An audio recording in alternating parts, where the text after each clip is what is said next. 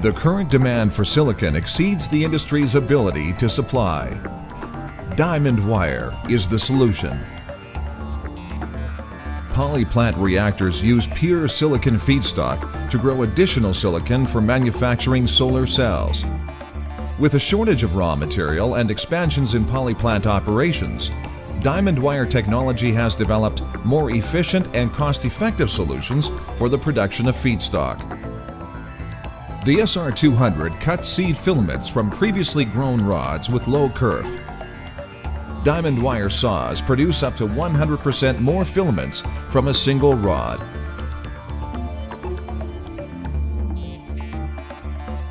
Filament production begins when the U-rod is cropped on the CR100 cropping saw.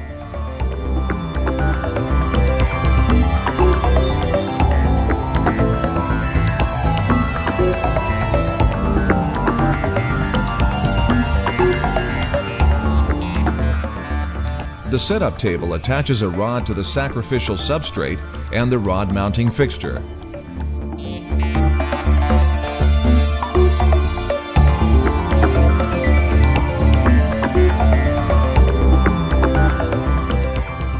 The battery-powered load-unload tool moves the rod from the gluing station to the saw.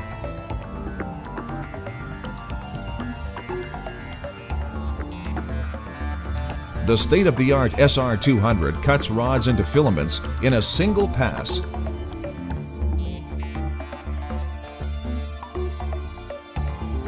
Two independent cutting yokes and the tangential cutting process result in more filaments per rod. This system offers low kerf combined with a fast cutting speed, making it possible to produce more than 320 filaments per day on 120 millimeter rods. Diamond wire cutting produces the smallest kerf, creating more filaments and higher throughput.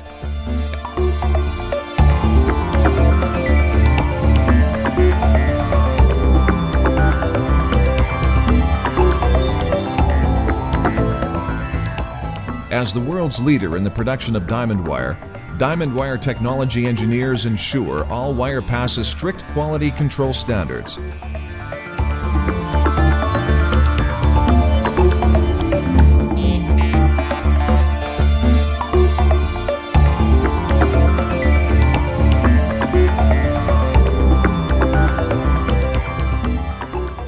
After a cut is complete, the load-unload tool moves the cut silicon from the SR200 to the release tank.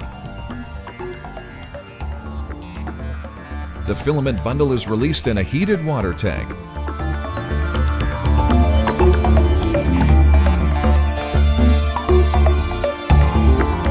Filaments cut by the SR200 are ready for feedstock.